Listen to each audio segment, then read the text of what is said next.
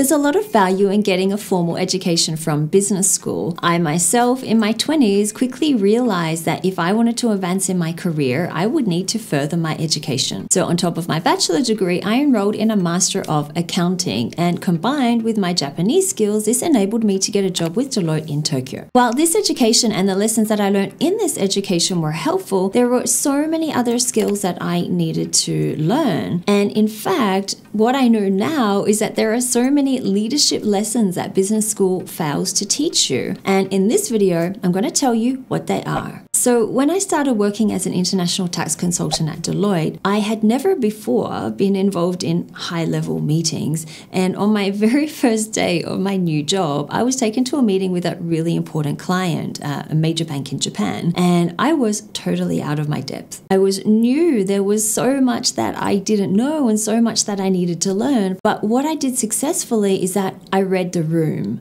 and I read the dynamics that were at play in that room.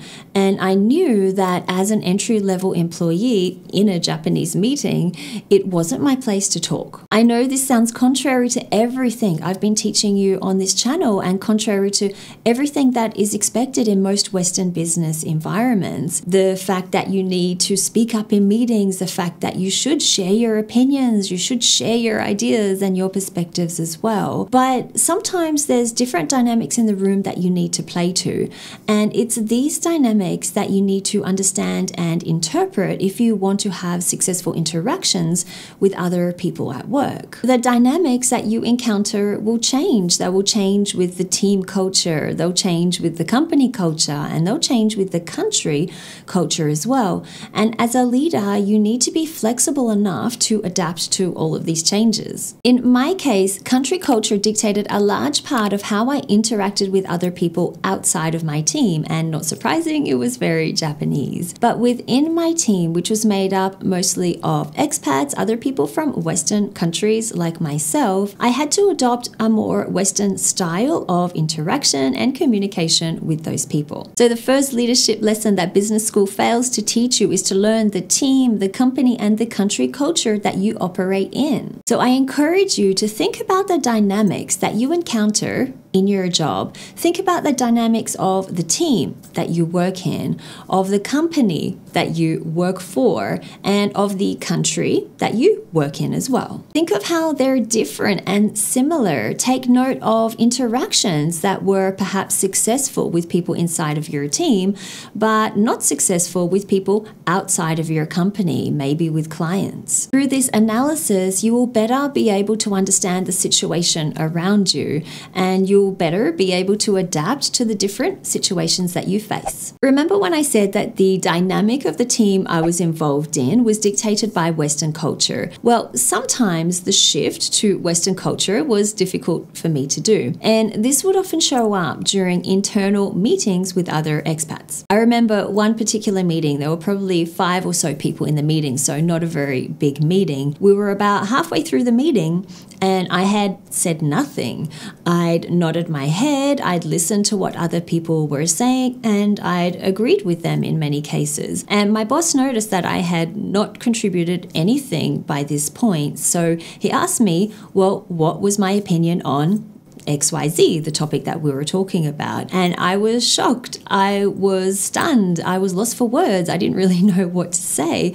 So I think I just thought of some kind of response like, oh, I agree with such and such a person. I think we should go in the direction of XYZ. Now, I don't know how this looked to everyone else in the room, but for me, I felt totally unprepared. I felt ashamed that I didn't have anything to contribute. I felt embarrassed that I didn't have my own to share, all I could do was agree with everyone else. So after that, I made a conscious effort to always have something to say during a meeting. I would prepare beforehand to make sure that I had something to contribute and so that I would never be lost for words again. And this leads us to the second leadership lesson that business school fails to teach you, which is to always have something to say during meetings. And the way you do this is to prepare in advance. So before every meeting you go to, find out what will be discussed, find out what are the topics that everyone's going to be talking about, and spend 10 10, maybe 15 minutes planning out on your own how you are going to contribute, what you are going to say in response to those topics. What are your thoughts? On those topics? What are your new ideas that you want to contribute? And then, more importantly, during the meeting, actually find some space to talk. This could either be you injecting yourself in the conversation and sharing your thoughts with other people, or it could be you responding when your boss is actually asked for your opinion or your ideas on a specific topic. One of the things I loved the most, no matter what job I had, was interacting with other people, interacting with my colleagues colleagues, with my boss, with clients, or just other people in the office. I find that this is one of the things that makes work the most fun and much less mundane. Now, in Japan, there is a strong culture of building relationships with other people you work with. You work together all day every day. You need to be able to trust each other, to trust each other on a task level, and to also trust each other on a relationship level. And in Japan, it's this relationship level trust that is more built by spending time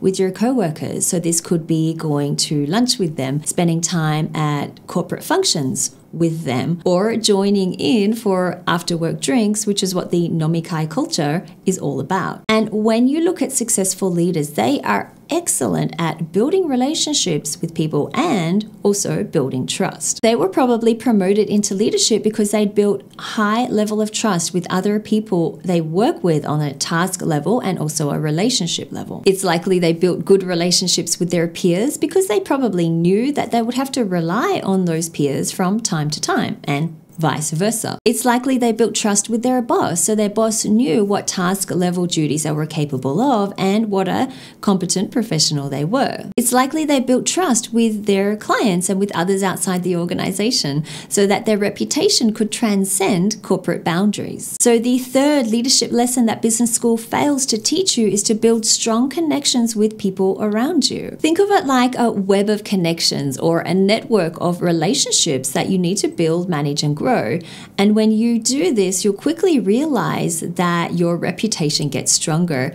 People come to you for advice more often, and promotions get easier too. When you come out of business school or university, your mind is full of theoretical concepts and textbook smarts. And for a while, you might think that you are the smartest person in the room. Then you actually enter the room and you realize that other people know things that you don't. That what you learn in business school or university doesn't exactly apply the way the textbook or the way your professor said it should. And you might also be surprised to find that people with much less education than you know way more than you do, and they're way better at their job too. This is when your ego starts to take a hit, and in many cases, you start to realize that practical experience is a lot more valuable than the theoretical concepts you were taught in business school. This was true for me. Most of what I learned in my Master of Accounting degree wasn't used at all in my job. Taxation was a very small part of what I studied during my master degree, and international tax was not covered at all. So, in order to do my job well, I needed to really learn.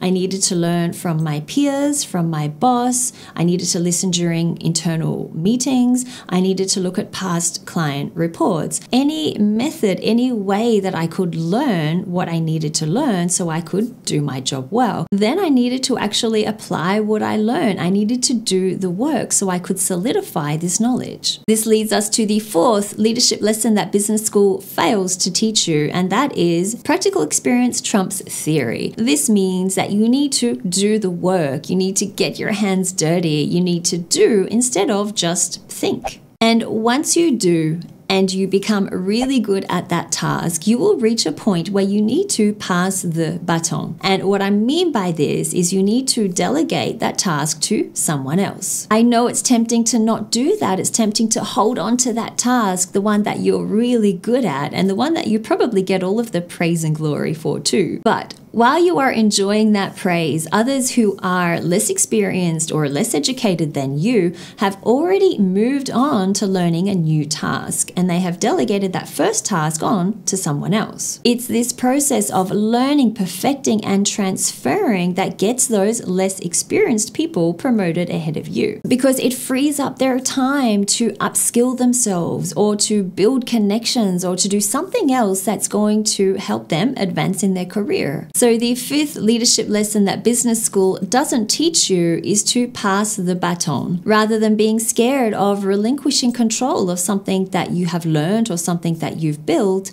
Shift your perspective and see delegating as the first step to becoming a true leader. Think of authors. If they were to hold on to all their knowledge and not share it with other people in the form of a book, would they be as recognized and respected as what they are? No, they wouldn't. And I think it's fair to say that they wouldn't stand out from their competition or be visible either if they kept all of their knowledge and their expertise to themselves. They'd just be another cog in the wheel, which is how many emerging leaders who work for larger companies feel. And I get it, it can be really hard to stand out and to separate yourself from others at work. It's not that you don't have unique or valuable ideas. I know that all of you watching do. It's just that getting the courage to voice those ideas to other people can be really challenging. In other words, to make your ideas public and to position yourself as a thought leader rather than a thought follower. And this is probably one of the biggest transitions that you need to make when you leave business school. As Dorie Clark in her book Stand Out writes, there is a lingering cultural belief that if you just work hard enough, you'll be lauded as an authority if your work merits it.